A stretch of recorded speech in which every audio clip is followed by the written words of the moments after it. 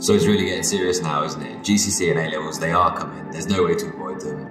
It's getting serious. It's time now to start getting into those serious study habits. You can do this. Don't ask yourself, when do I start revising? Just start.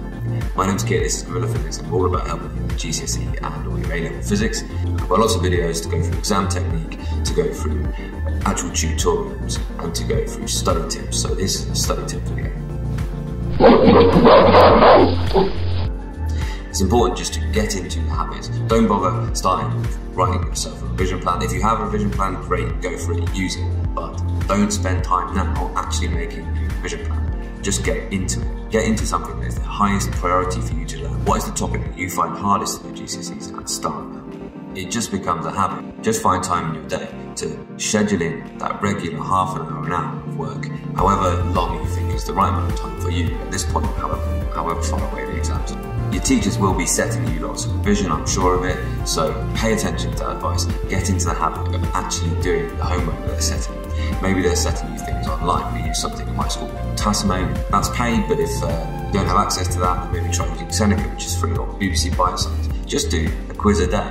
Just do um, 10 minutes a day of something and do it regularly. Little and often is the recipe for success. It's the recipe for putting things into deeper memory so that they stay there, so that they're accessible under pressure in an exam situation. If you're doing GCSE, you need to make sure you memorise equations, and luckily I've made a book called Memorise Equations for GCSE Physics. So this book helps you to memorise equations by actually using them, not just memorising them by trying to look up a V or trying to just go over them time and time again. So actually developing the skill using them, rearranging, converting things as you go. And I think the best way to memorise anything is just to use it regularly. And also, and especially if you're going from the highest grades, I'd recommend this. This is called Isaac Physics. And this is a book, but there's a website online. You don't have to buy this book. The book costs literally a pound just to cover basic postage um, to your house. So I would massively recommend this. This is a GCSE one, Mastering Essential GCSE Physics, Isaac Physics. But there is also an A-level version. And kids who do that become very good at problem solving in physics, and that is the core skill that you need to learn because exam questions are not questions, they're instructions to help you solve a problem. So make study habits, carve out periods in the day. Don't be slavish to a timetable. Don't think to, to start revision, you need to have everything planned out and you need to perfectly align to a timetable. Just get going. I promise you that will make your study more effective.